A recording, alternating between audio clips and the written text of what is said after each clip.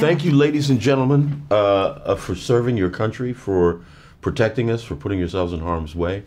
Uh, we love you, we honor you, we respect you, and uh, we wish you well. And uh, that's it. Thanks.